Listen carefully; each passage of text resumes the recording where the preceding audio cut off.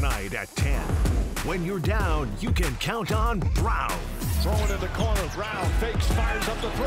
Bang! Bang! Jaylen Brown knocks down the three to tie the game. Jaylen's clutch shot from the corner. And Tatum's overtime takeover, clinching the game one win.